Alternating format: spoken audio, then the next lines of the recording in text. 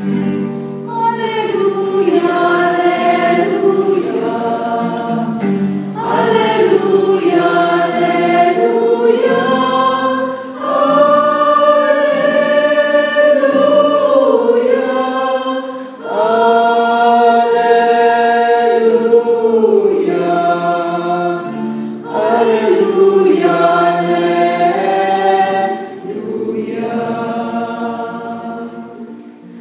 holy day has dawned upon us.